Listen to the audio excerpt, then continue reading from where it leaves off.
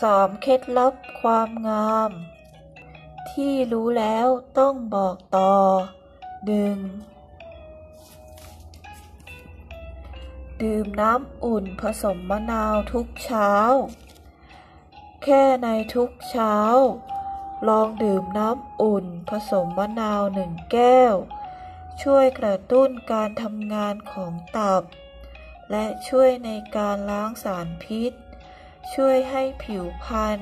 เปล่งปลั่งมีน้ำมีนวล ข้อควรระวังสำหรับผู้เป็นโรคกระเพาะ หรือเป็นแผลในกระเพาะอาหาร ไม่ควรดื่มน้ำมะนาวที่เข้มข้นมาก 2. ใช้น้ำมันมะพร้าวบำรุงเส้นผม ให้เงางาม ดกดำ นำมาทาผิวทำให้ผิวชุ่มชื้น 3. ใช้เบกกิ้งโซดากำจัดสารพิษตกค้างที่เส้นผมของคุณ เมื่อคุณใช้แชมพู ครีมนวด เจลแต่งผม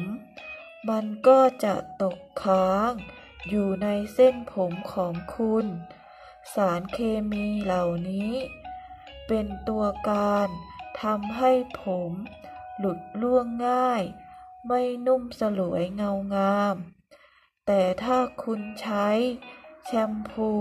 ผสมกับเบกกิ้งโซดาหนึ่งช้อนชา ผมของคุณก็จะสะอาดหมดจด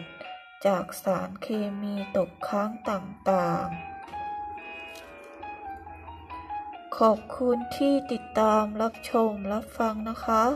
ฝากกดติดตาม กดไลค์ กดแชร์ เป็นกำลังใจให้ด้วยนะคะ ขอบคุณค่ะ